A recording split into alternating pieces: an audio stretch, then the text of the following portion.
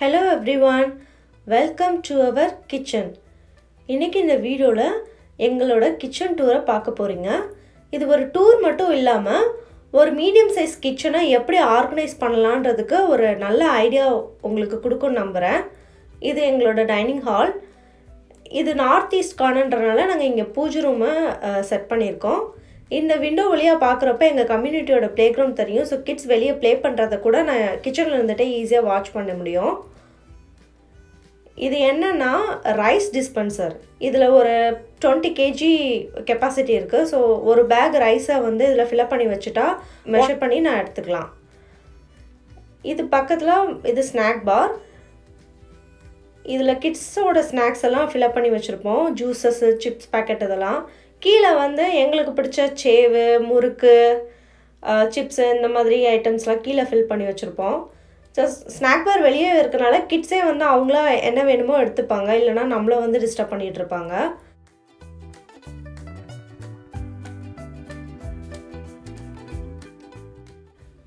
கிச்சனோட என்ட்ரன்ஸில் ரெண்டு பில்லர் இருக்கும். ஒரு சைடில் எங்கள் ஃபோட்டோவும் இன்னொரு சைடில் புத்தா ஸ்டாச்சுவும் வச்சுருக்கேன். இது ஏன் இங்கே இருக்குன்னா எங்கள் வீடு டோர் ஓப்பன் பண்ண உடனே ஆப்போசிட்டில் இது தான் தெரியும். ஸோ அதனால் அங்கே ஒரு மிரரும் அந்த புத்தா ஸ்டாச்சு வச்சுருக்கனால ஒரு பாசிட்டிவ் வைப்ரேஷனை க்ரியேட் பண்ணுன்றக்கானே அங்கே வச்சுருக்கேன். அது பக்கத்தில் ப்ளே ஸ்டாண்ட் வச்சுருக்கேன். ஸோ டைனிங் ஹால் பக்கத்தில் இருக்கனால ஈஸியாக இருக்கும் சர்வ் பண்ணுறதுக்காக அப்புறம் இங்கே இருக்க இந்த டெக்கரேஷன்ஸ் வந்து ஐக்கியாவில் வாங்கினேன். அது உள்ளே வச்சுருக்க அந்த கப்ஸ்லாம் வந்து கெஸ்ட்டு வந்து காஃபி டீ கொடுக்குறக்காண்டி அந்த கப்ஸ் அதில் வச்சுருக்குது இந்த சிங்கில் என்ன ஸ்பெஷல்னால் இந்த சோப் டிஸ்பென்சர் வந்து அதுலேயே வந்து ஃபிட்டாக இருக்கும். ஸோ தனியாக சோப் ஹோல்டர் வைக்க தேவையில்லை. அப்புறம் ஆர்ஓ ப்யூரிஃபையரும் அதில் ஃபிட்டாக இருக்கு. இந்த கேனிஸ்டர் செட்டில் நான் வெரைட்டிஸ் ஆஃப் ரைஸ் வச்சுருக்கேன். பாஸ்மதி ரைஸ் பிரியாணி அரிசி பச்சரிசி ப்ரௌன் ரைஸ் அதெல்லாம் வச்சுருக்கேன்.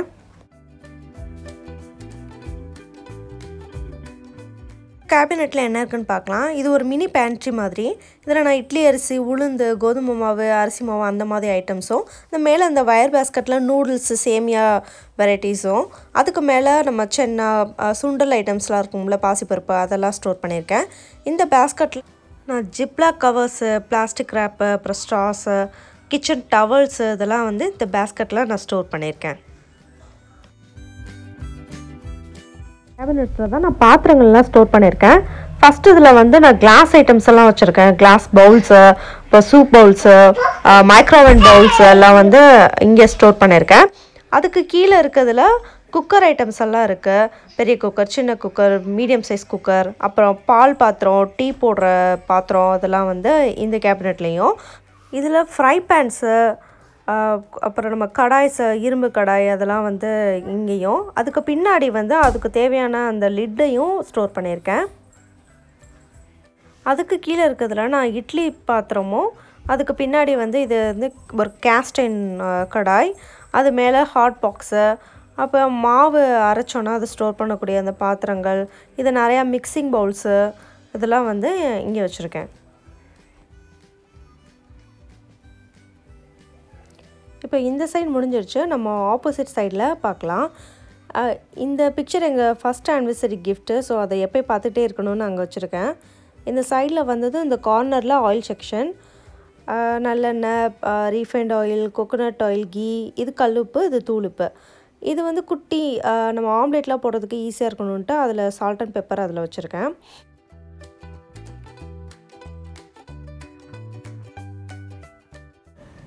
ஃப்ரிட்ஜோட சைடில் இந்த மேக்னெட் போர்ட் நான் ஒட்டியிருக்கேன். இது டாலர் ட்ரீயில் வாங்கினேன். இதில் நான் ரொட்டீனாக ஏதாவது வாங்க வேண்டியது இல்லை மெனு டிசைட் பண்ணுறதெல்லாம் இதில் நான் எழுதி வச்சுப்பேன்.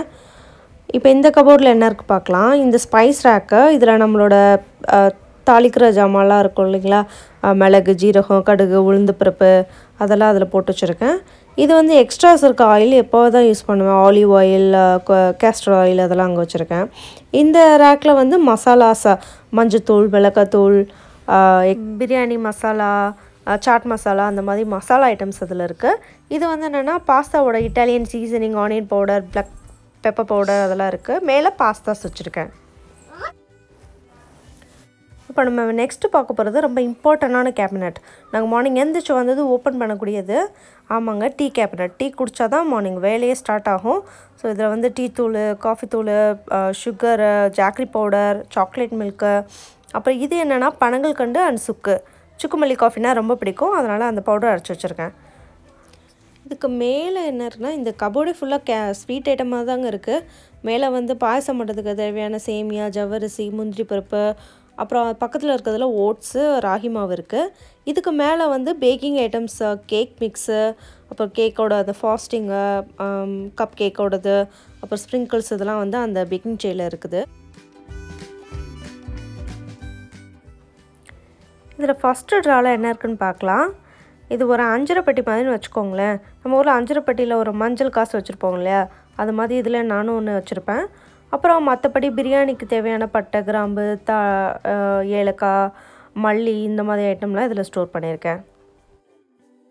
அதுக்கு கீழே இருக்கிறது வந்து சாம்பார் ஐட்டம் சாம்பார் பொடி சாம்பாரை போட துவரப்பருப்பு பாசிப்பருப்பு கடலைப்பருப்பு இதெல்லாம்.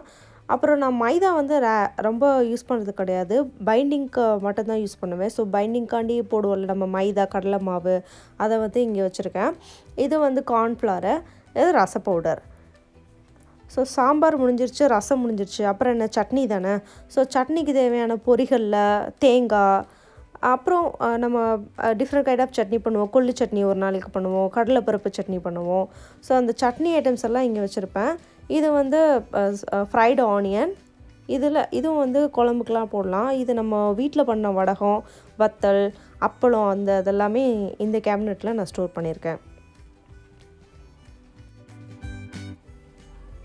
இப்போ இந்த சைடில் இருக்க இந்த ட்ராவில் பார்க்கலாம். இதில் வந்து எவ சில்வர் ஐட்டம்ஸ்லாம் வச்சுருக்கேன். சின்ன சின்ன பவுல்ஸு டம்ளர்ஸு பெரிய டம்ளர் இந்த கப்பு இதெல்லாம் வச்சுருக்கேன். இது வந்து கிட்ஸோட ஐட்டம்ஸு கிட்ஸோட டம்ளர்ஸு கிட்ஸோட கப்பு ஸ்நாக் பாக்ஸ் இதெல்லாம் வச்சுருக்கேன். அதுக்கு கீழே இருக்கிறதுல ஆனியன் பொட்டேட்டோ கார்லிக் இதெல்லாம் ஸ்டோர் பண்ணியிருக்கேன். இது வந்து அவனுக்கு கீழே இருக்க இந்த ட்ராவில் வந்து அவனோட அந்த மிட்டன்ஸு அது இடியாப்பம் பண்ணுற மோல்டு அந்த மாதிரி ஃபில்டர்ஸ் அதெல்லாம் அதில் வச்சுருக்கேன். இப்போது மைக்ரோவனுக்கு மேலே ஒரு கபோர்டு இருக்குது அதில் என்ன வச்சுருக்கேன்னா நம்ம கஷ்டப்பட்டு சமைக்கிற அந்த லஞ்சை பேக் பண்ணி கொடுக்குறதுக்கு அட்ராக்டிவாக பாக்ஸஸ் வேணுங்க இல்லைங்களா? ஸோ அந்த மாதிரி லஞ்ச் பாக்ஸஸ் எல்லாம் அங்கே வச்சுருக்கேன். அலுமினியம் ஃபாயில் இது எவர் சில்வர் லஞ்ச் பாக்ஸு அதோட வந்து கேக் பண்ணக்கூடிய அந்த பீட்டரும் அந்த க்ரீன் பேஸ்கெட்டில் வச்சுருக்கேன். இந்த ஃப்ரிட்ஜுக்கு மேலே ரெண்டு பவுல்ஸ் இருக்குது இதில் என்னென்னா புளி ஒன்றுலையும் இன்னும் இல்லை நம்ம சாப்பிட்ட பிறகு சாப்பிடுவோம்ல பான். அது வச்சுருக்கேன்.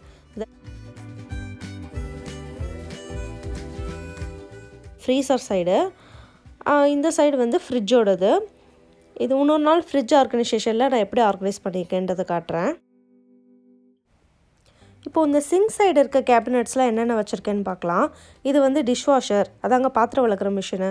இதில் பாத்திரத்தை லோட் பண்ணிவிட்டு ஈஸியாக எடுத்து வச்சுக்கலாம். எப்பயுமே வந்து கிராசரிஸை வந்து ஸ்டவ் இருக்க சைடும் பாத்திரங்களை வந்து சிங்க் சைடும் அரேஞ்ச் பண்ணிட்டோன்னா ஈஸியாக இருக்கும். இப்போ இது வந்து ஸ்பூன்ஸ் எல்லாம் இங்கே வந்து அரேஞ்ச் பண்ணியிருக்கேன். சூப் ஸ்பூன்ஸு கிட்ஸோட ஸ்பூன்ஸ் எல்லாம். அடுத்ததில் அந்த நம்மளோட எவர்சில்பர் ஸ்பூன்ஸு மெஷரிங் ஸ்பூன்ஸ் இருக்குது கீழே வந்து மிக்சி கிரைண்டர் இன்ஸ்டன்ட் பாட்டு அப்புறம் மிக்சியோட ஜாஸ் எல்லாம் இருக்கும். ஸோ இதெல்லாம் நம்ம எப்போவா தான் எடுக்கிறனால இதை கவுண்டர் டாப்பில் வைக்கணும்னு அவசியம் கிடையாது. ஸோ கேபினெட்ஸ்லேயே வச்சுக்கலாம். கேபினெட் ஸ்பேஸ் இல்லாதவங்க வேறு வழியில் கவுண்டர் டாப்பில் தான் வச்சாகணும். இப்போ இந்த கேபினெட்டில் என்ன இருக்குன்னா மெஷரிங் கப்ஸு அப்புறம் பீலரு பீஸா கட்டர் இந்த மாதிரி ஷார்ப்பான ஐட்டம்ஸ்லாம் இருக்குது அப்புறம் இந்த சின்ன ஸ்பேஸில் வந்து நான் ஹேர் பேண்ட்ஸ் கிளிப்ஸ்லாம் வச்சுருக்கேன். ஏன்னா சம்டைம்ஸ் ஃப்ரீ ஹேரோடு சமைக்கும் போது எரிச்சலாக இருக்கும்ல. ஸோ டக்குன்னு நம்ம போனி டெயில் போட்டுக்கலாம் அதுக்காண்டி. இந்த கேண்டில் வந்து எதுக்குன்னா இங்கே வேக்ஸ் பாம் இருக்குது ஸோ நான் அந்த கேண்டில் ஏற்றி உள்ளே வச்சிட்டோன்னா அந்த வேக்ஸ் மெல்ட் ஆகி அமேசிங்காக ஸ்மெல் வரும். இது வந்து என்னென்னா நம்ம விஸ்க்கு க்ளீன் பண்ணுறது இது வந்து நைஃபை வந்து ஷார்ப் பண்ணுறது இங்கே ஷார்ப்பான ஐட்டம்ஸ்லாம் இருக்கனால நான் ஒரு ப்ரிகாஷனுக்காக பேண்டேடும் அங்கேயே வச்சுருக்கேன். இதுக்கு கீழே இருக்க இந்த கேபினெட்டில் நான் மினி பிளேட்ஸ்லாம் இருக்கும் இல்லைங்களா? ஸ்மால் பிளேட்ஸு எவர்சிபிள் பிளேட்ஸ் அதெல்லாம் வச்சுருக்கேன். கீழே கிட்ஸோட வாட்டர் பாட்டிலும் கிட்ஸோட பிளேட்ஸும் இருக்குது அழகானதை மட்டும் காட்டினா போதுமாங்க. டர்ட்டி சைடே காட்டி தானே ஆகணும். ஸோ அண்டர் த சிங்க் பார்க்கலாம். அண்டர் த சிங்க் எப்பயும் போல் ட்ராஷ் கேன் இருக்குது அப்புறம் சிங்க்கை க்ளீன் பண்ணக்கூடிய அந்த ப்ரஷ்ஷஸ்ஸு அப்புறம் அந்த ஸ்ப்ரேஸ் க்ளீனர்ஸ்லாம் அங்கே இருக்குது இதில் வந்து நான் சின்ன கவர் போட்டு ஃபுட் வேஸ்ட்டெல்லாம் அதில் வந்து கேதர் பண்ணுவேன். எங்கள் கிச்சனில் இம்பார்ட்டன்ட் ஃபீச்சர் என்னென்னா லைட்டிங்ஸ் தான். அண்டர் த கேபினட்ஸ் கூட லைட் ஃபிக்ஸ் பண்ணியிருக்கனால கிச்சன் பார்க்கவே ரொம்ப பிரைட்டாக இருக்கும். இது எலக்ட்ரிக் கிளாஸ் டாப் ஸ்டவ்வு இதில் நாலு பர்னர்ஸ் இருக்குது அது மட்டும் இல்லாமல் அடிஷ்னலாக வார்மிங் ஜோன் இருக்குது நம்ம ஏதாவது பண்ணிவிட்டு சுட சூடாகவே இருக்கணும்னா அதில் வச்சிட்டோன்னா அது ஹீட்டை மெயின்டைன் பண்ணோம்.